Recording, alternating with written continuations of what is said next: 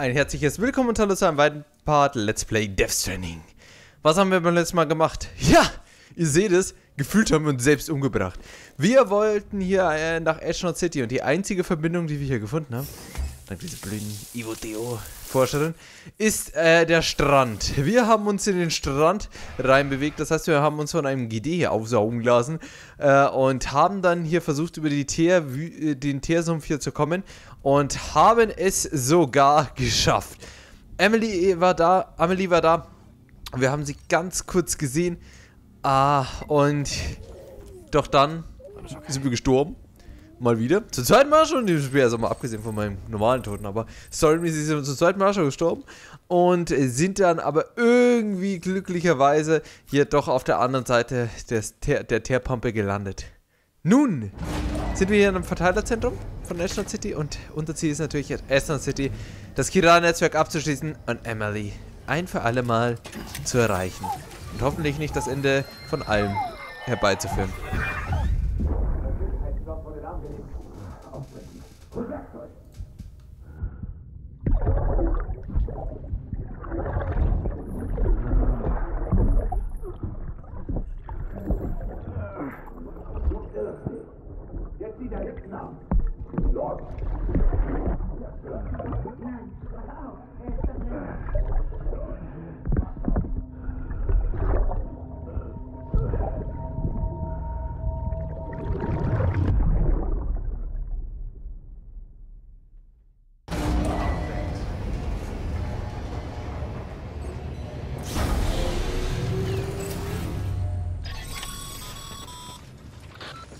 Da, Sam?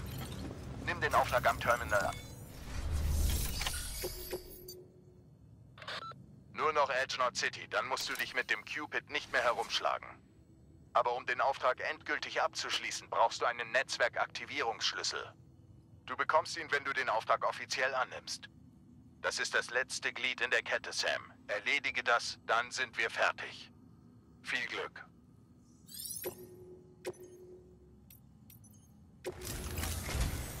Da ist es, Sam.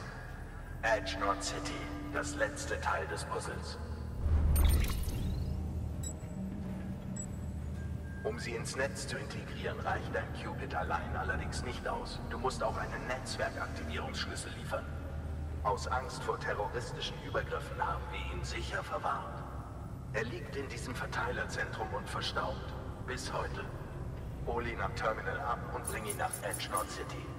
Glücklicherweise scheinen die automatisierten Systeme im Verteilerzentrum noch zu funktionieren. Nach dem Einsatz des Schlüssels sollte automatisch eine Verbindung zum Hauptnetz hergestellt werden. Ein Wort der Warnung, Sam. Der Aktivierungsschlüssel ist einzigartig. Es ist vollkommen unmöglich, einfach einen neuen zu drucken. Er ist ein Unikat, unersetzlich. Du darfst ihn unter gar keinen Umständen verlieren und auch nicht kaputt machen. Hast du verstanden? Wenn es je eine Lieferung gab, die ankommen muss, dann diese. Wir zählen alle auf dich.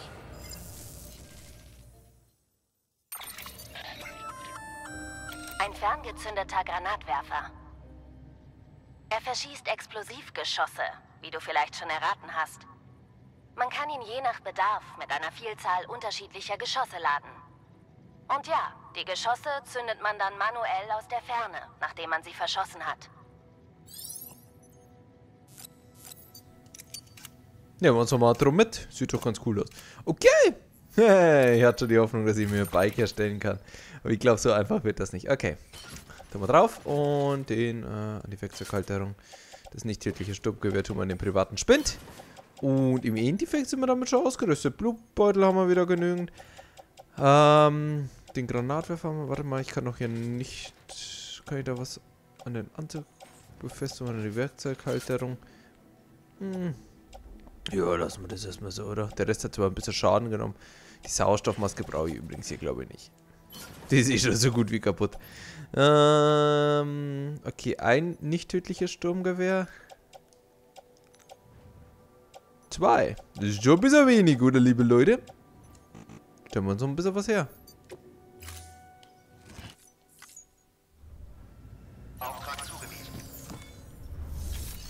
So. Mein Bot, der funktioniert hier natürlich nicht. Bot! Ich dachte, du bist immer bei mir. Kann ich aber meine Seilrutschen eigentlich machen? Sie tun mir einfach so ganz entspannt hin und her warpen. Okay, Krafthandschuhe tun wir uns erstmal herstellen. Die haben wir schon lange nicht mehr benutzt. Und... Bötschestiefeln. Da habe ich gar keine mehr. Oder ich glaube, eins habe ich noch. Warte mal. Einen stellen wir uns her. Das ist mir jetzt wurscht. Ähm, Blutbeutel. Stellen wir uns noch zwei her. Und... Ja, lassen wir das jetzt erstmal. Komm, das wird schon lang. Ich meine, nicht die Sturmgewehr, ich hoffe einfach mal die lang. Am Rücken, am Rücken, in Stiefelkammer und Handschuhe anziehen. Gut, dann sind wir soweit. So viel Gepäck haben wir jetzt gar nicht. Äh, 80 Kilo, das geht. Und dann starten wir mal. Wir sehen so mehr oder weniger kurz davor hier zum Ende zu kommen. Oh, was ist denn das? Ach, das ist der normale Granatwerfer. Ich würde noch mal schauen, wie das ist, mit dem rumzuballern. Ich will ihn doch gar nicht abballern. Wenn ich meine, ich schieße doch eh nur mit meinem eigenen Blut hier rum. Wer schon wieder die Brücke gebaut haben, hat, cooler Typ. Sehr cooler Typ. Also erstmal da lang. Dann eine Milliarde GDs, okay. Äh, ja, da irgendwie durch. Dann müssen wir wahrscheinlich hier irgendwie Ding durch und nochmal da. Eine Leiter wäre nicht schlecht gewesen, vielleicht nur mitzunehmen. Also, Edgenot City. Dort vorne sind es. Leben da jetzt noch Menschen? Eigentlich ja, oder? Es sieht nur so komplett verwest aus.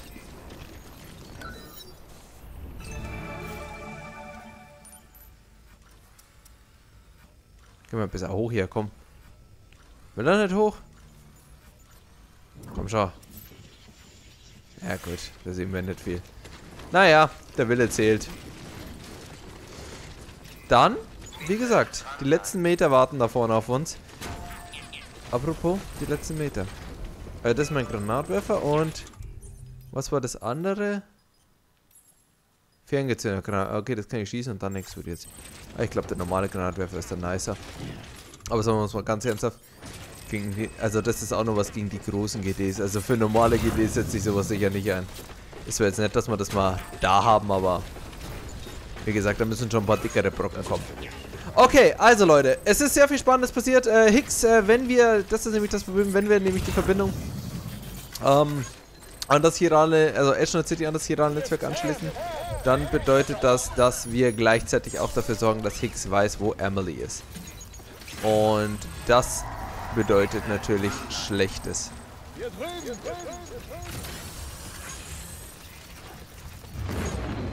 Apropos Schlechtes. Ich glaube, wir haben eine äh, guten Idee wieder hier am Hals. Also, Stealth-Modus aktivieren. Und schleichen.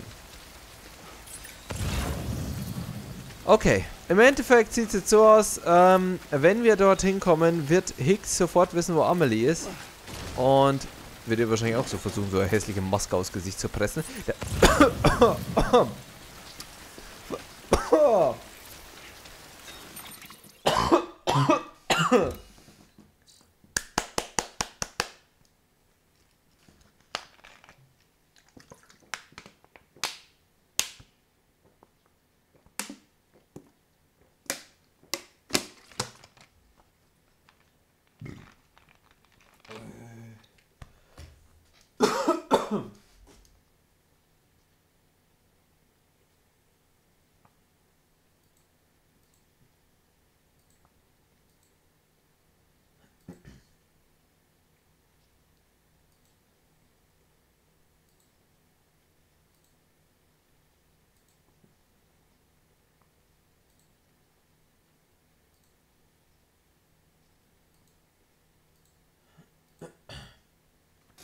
Oh ja, ja, verzeiht Leute, ich hoffe, ich denke dran, das rauszuschneiden.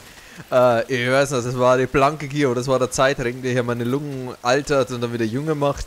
Waren die halt mal wieder ein wenig alt. So, da dann stürmen wir da einfach durch, wird schon schief gehen.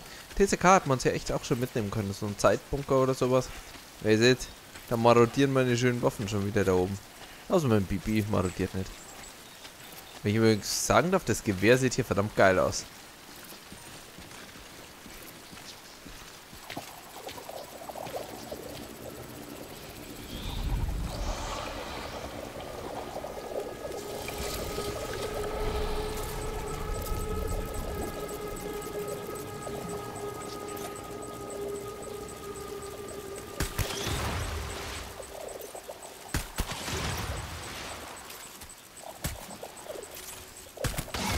Ähm.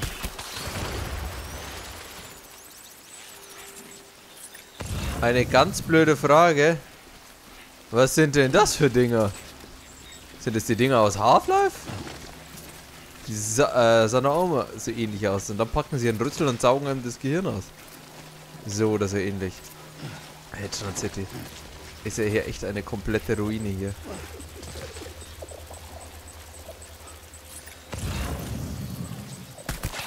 Wisst ihr was? Ich will gar nicht herausfinden, was das für Viecher sind. Ich mach sie einfach kaputt. Ist mir doch wurscht. Aber das sind hier schon verdammt viele.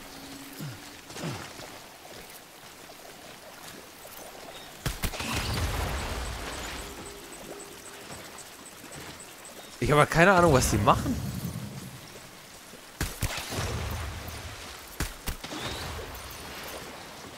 Hm. Jetzt hätte nicht tödliche Sturmgewehre mitnehmen können, weil da sind doch noch einige von den Viechern.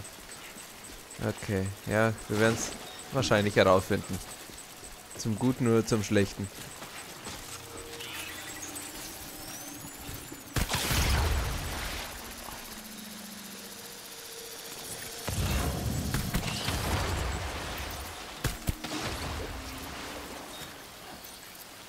Keine Ahnung, was diese ekligen Teile sind.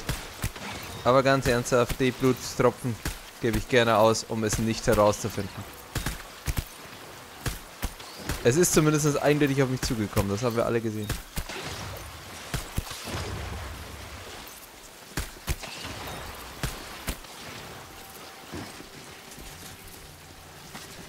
Keine Ahnung, was das für Viecher sind, aber sie sind eklig. Ich hasse Sachen mit vielen Tentakeln. Tentakel sind eklig, Leute. Außer man schaut Hentas. Dann ist es äh, eine, natürlich eine F Freude für die. Muss ich überhaupt dahin? Ist meine nächste Frage.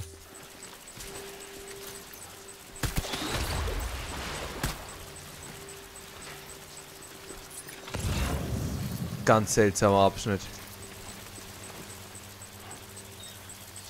Kein einzelner GD, sondern nur diese Wonneproppen, diese ekligen. Uh.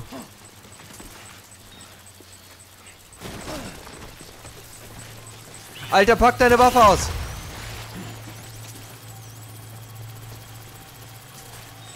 Ja, da schon wieder eine halbe Stunde rumhantiert. Bevor der da was Sinnvolles macht.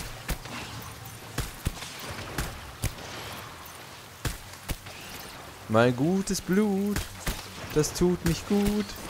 Ich brauche mehr Blutbeutel, yeah, yeah. Aber wenn ich eins habe, also ich hatte schon immer genügend Blutbeutel. Weil wie gesagt, ihr seht ja ganz eindeutig, dass sie auf mich zukommen. Also Blutbeutel ist schon leer. Nice. Oh, hier wäre eine Klettervorrichtung ganz nice. Aber noch besser, warte mal. Erstmal auf ganz dumm. Ah.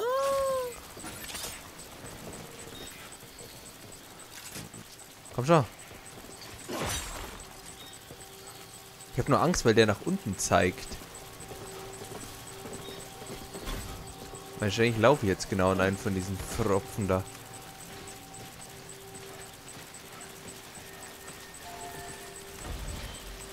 Aber okay. Im ersten Moment zeigen. Ja, lass los!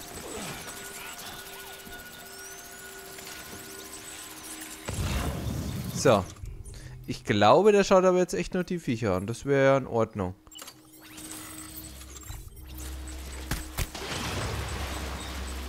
Oder? Er biebt, er biebt, er biebt immer weiter. Machen wir einen Deal, Leute. Wir finden einfach gar nicht heraus, was das für Dinger sind. Was die machen, was ihre Stärken und Schwächen sind. Wir finden es einfach gar nicht heraus, weil wenn wir es nicht wissen, kann es uns auch nicht wehtun. Alte Devise, hat bis jetzt immer gut geklappt. So, sollen wir hier ausruhen, ne? Mitten im GD-Gebiet. So, dann. Nein, keine Zeit hier. Könnt maximal hinpinkeln. So. Okay, ich glaube, das war's.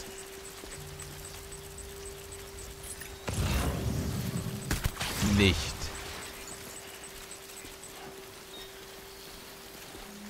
Lassen die mal irgendwas Schönes da? Ich meine, die können immer ein paar chirale Kristalle da lassen. Das ist übrigens eine geile Leiter. Schade, dass man nicht immer Likes geben kann, wenn man hier runter geht. Würde ich viel mehr Likes abgeben. So, okay. Nun außerhalb des chiralen Netzwerkes. Aber ein letztes Mal. Denn wenn wir dieses Abenteuer überstanden haben, haben wir es geschafft. Doch, zu was führt das? Wenn wir jetzt Emily finden, und zwar die Tochter von Präsidentin Strand haben, ist das natürlich im ersten Moment gut. Gleichzeitig bedeutet es aber auch, dass äh, diese Entität da ist, die die ganze Menschheit auslöschen kann.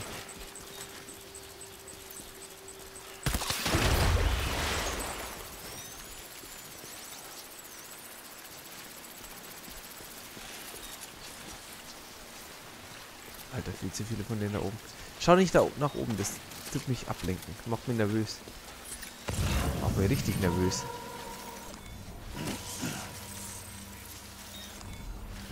Ich keine Ahnung ab, ob die nach unten kommen. Nun gut. Ähm, und sollte jetzt hier, sollten wir jetzt hier Emily finden, wie geht es dann weiter? Weil, äh, wir haben dann zwar diese chirale Verbindung, aber Hicks ist immer noch da. Und solange Hicks da ist, können wir uns sicher sein, dass das Abenteuer noch nicht vorbei ist.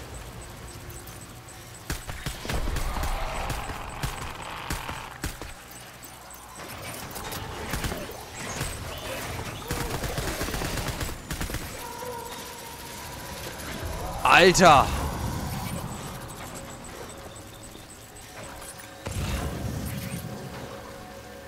Der hat für meinen Geschmack ein bisschen zu viel ausgehalten. Sonst waren die noch immer nach zwei Schüssen tot. Waren es zwei, oder? Keine Ahnung. Egal.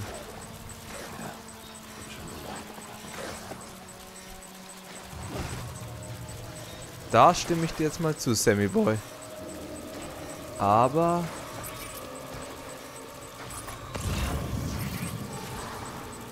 Wir haben es hoffentlich nicht mehr allzu weit.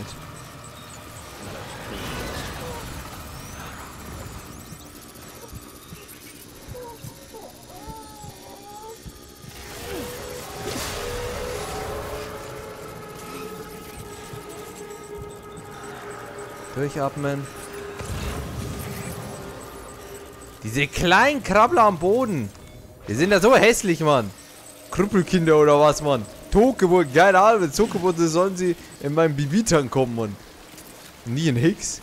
Haben die, ich weiß immer noch nicht, ob der Hicks und so, ob die eigentlich auch Bibis haben. Haben wir auch bis jetzt, hat uns das noch niemand gesagt. Scheint nicht wichtig zu sein. Nun gut.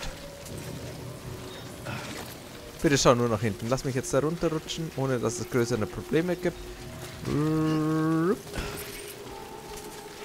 dann ist es tote Frotte. Okay, das soll es gewesen sein.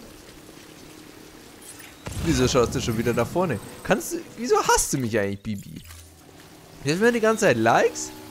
Dabei hasst du mich. Kann ich die nicht einfach wegboxen? Die GDs.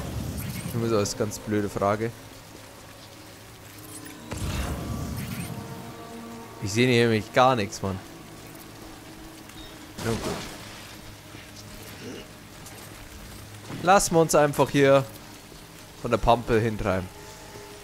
Aber egal, also wie gesagt, so ganz weiß ich jetzt immer noch nicht, wo das hier alles hinführt ähm, und zu welchem Ende es kommt.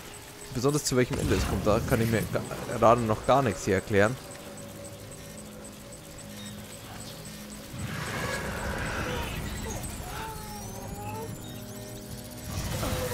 Weil egal was wir machen, irgendwie führt jeder Weg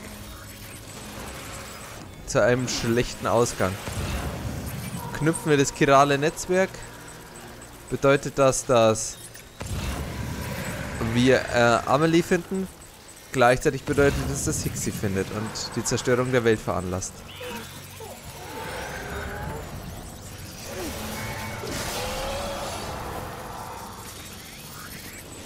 Zum anderen, wenn wir es natürlich nicht machen, haben wir keine Chance gegen Hicks. Die Welt ist immer noch nicht vereint. Die Frage ist natürlich, was...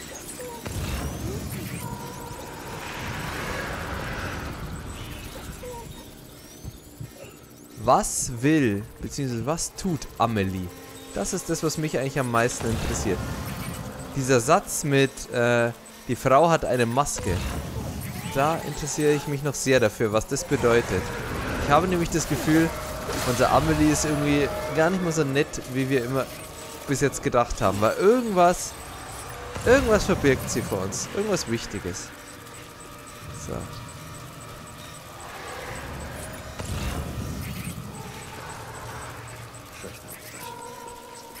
Den kann ich wohlwollend ignorieren. Dich kann ich nicht wohlwollend ignorieren. Deswegen machen wir dich platt, oder? So, finde immer geil, dass die nicht merken, dass ihre Narbe schnell weggeht. Ai. Oha, oha, oha, lalalala. Das war gar nicht gut. Ah, bleibt doch mal zwei Sekunden länger hier angezeigt. Ganz in Ordnung, komm. Schaffen wir doch alles. Komm, danke. Und davon ist es schon, das Verteilerzentrum. Bridges, Bridges. Bis hierhin hat, hat es nicht mal die erste Expedition geschafft. Nur Amelie ist hier eben, weil sie da mehr oder weniger gefangen gehalten wird. Fünf Like für Loose. Das ist mal eine Belohnung, würde ich mal sagen. Also Leute, wir sind mit den BDs fertig geworden. Und dort drin machen wir nun das letzte, den letzten chiralen äh, Punkt werden wir hier nun ähm, ins Zentrum bringen. Wir haben zwar theoretisch noch ein paar offene Flecken, aber es sind irgendwelche Prepper und was interessiert mich schon? Irgendwelche Kack-Prepper. Hier geht's nun endlich hier zu einem Ziel. Aber ich glaube, Leute, das war's noch lange nicht. Ich habe so das Gefühl, das Spiel dauert noch 100 Stunden.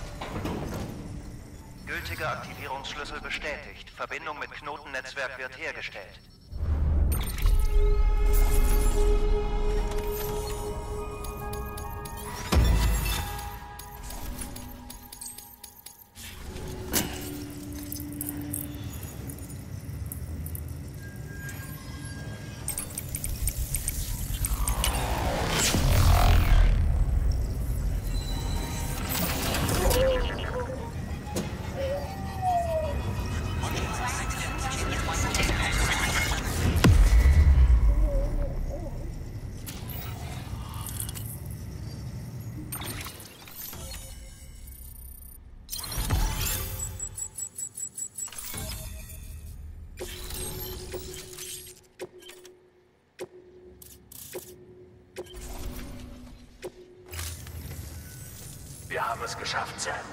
Jetzt umspannt das chirale Netzwerk den ganzen Kontinent. Unsere Nation ist wieder vereint.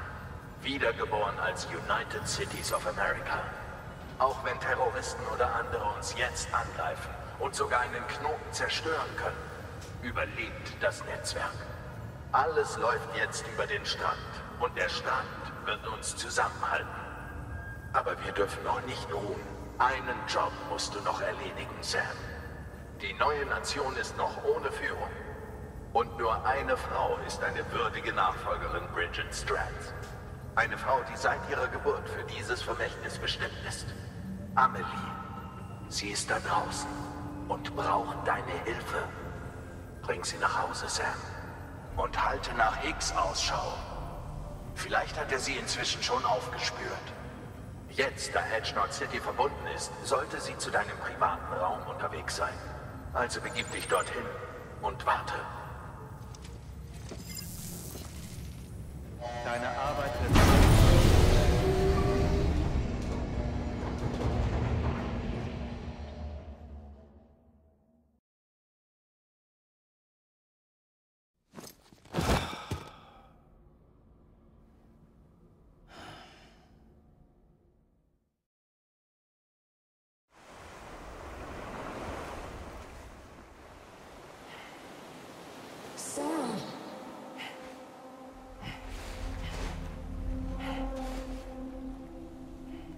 Du bist zu mir gekommen.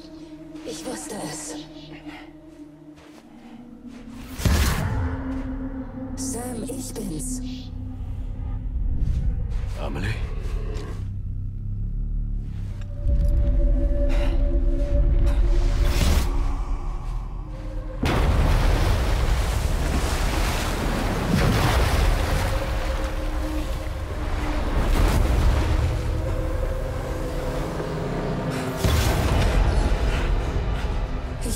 Etwas sagen. Ich bin die Extinktionsentität.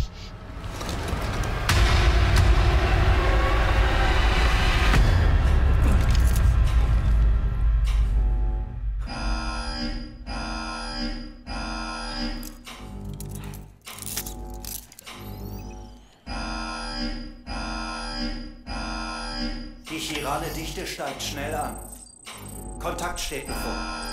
Es wird empfohlen, sich kampfbereit zu machen. Wiederhole, Kontakt mit unbekannter Bedrohung steht direkt bevor. Leute, was ist hier los? Wir haben, ein, wir haben eine Bazooka bekommen.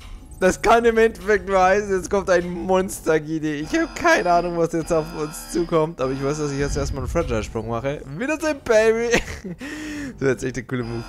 Äh, und dann würde ich sagen, Leute, beim nächsten Mal, was auch immer passiert, es wird etwas Großes passieren. Bis dahin machen wir jetzt nochmal einen kleinen Cut und dann schauen wir, was uns Hicks hier entgegenstellt. Bis zum nächsten Mal, auf Wiedersehen, ciao.